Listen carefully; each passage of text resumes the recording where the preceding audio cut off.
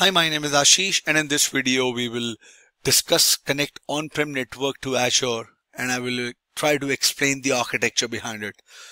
Let me just quickly pull up my whiteboard. Alright, back to the whiteboard.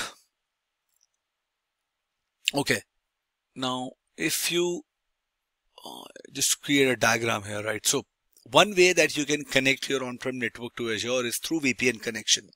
So a VPN gateway is a type of virtual network gateway that sends encrypted traffic between an Azure virtual network and an on-premise solution. The encrypted traffic goes over the public internet. Now this architecture is suitable for hybrid applications where the traffic between on-prem hardware and the cloud is likely to be light. Or you're willing to trade slightly extended how does it it is configured? Now let's say this is on-prem site 1 okay? And this is your on-prem site 2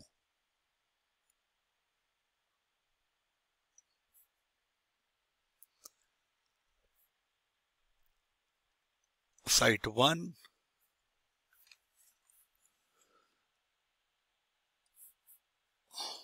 uh,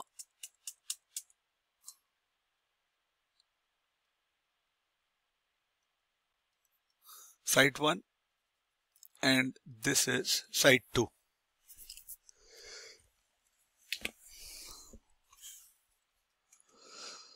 Now we will have VPN virtual IP as well for both of these sites.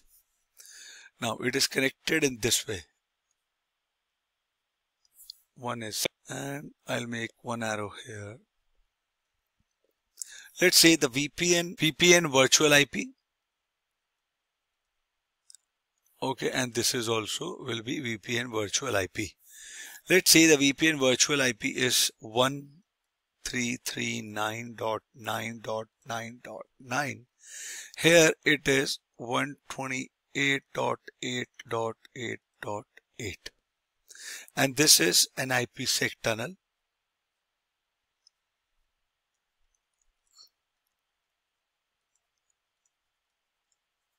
Okay, a VPN tunnel, and this is IPsec IKE site to site VPN tunnel.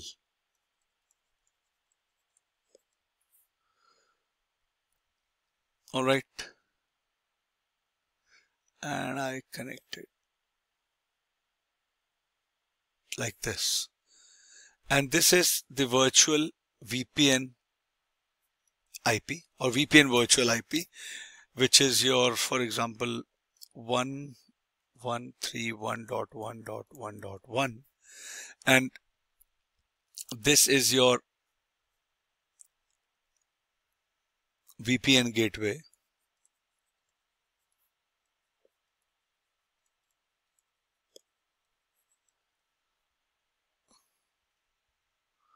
All right and here this is Azure.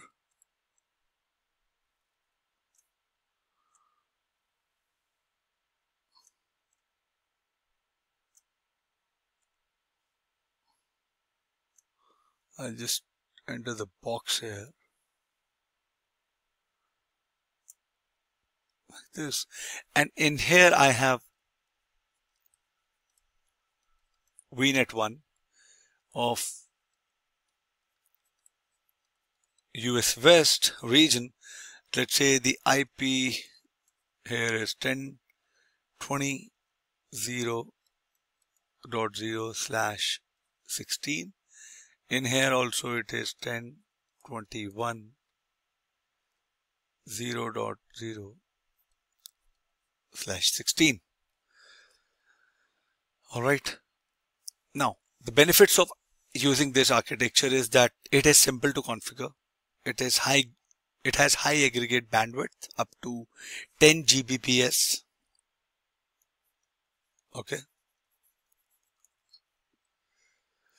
And it also depends upon the VPN gateway SKU, but there are some challenges. It requires an on-prem VPN device. You see this VPN gateway here, it would not work if you do not have an on-prem VPN device. Okay. And there are some documentation available that although Microsoft guarantees 99.9% .9 availability for each VPN gateway, this SLA only covers the VPN gateway and not the on-prem network connection to the gateway. Okay. Now the second picture, well, the second example is your Azure Express Route connection. Okay. Because how it will differ is, I will save this and come back. Okay, I'm back. Now, one is the Azure Express Route connection. Express Route connections use a private dedicated connection through a third-party connectivity provider. The private connection extends your on-premise network in Azure. Okay, now how does that work? You have a customer's network or your on-prem network here. All right, you have a partner edge in between. And then you have an express route circuit.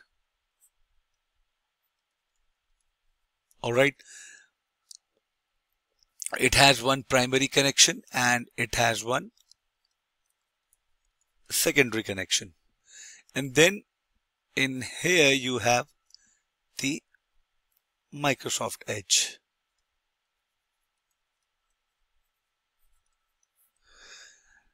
And from here it has a connection to go to office it has a connection to go to azure. Now let's say this is your vm this is your network. Okay? Now the benefits are it has high bandwidth available. Also it depends upon the connectivity provider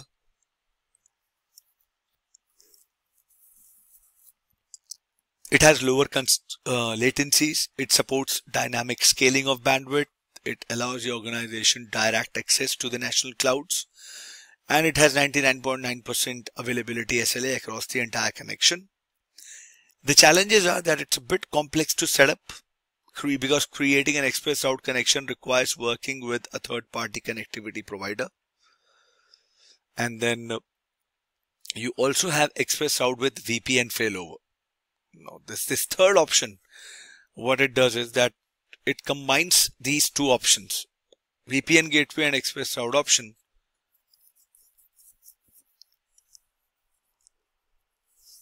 Because what it would do is it would use express route in normal conditions but fail over to a VPN connection if there is a loss of connectivity in the express route circuit.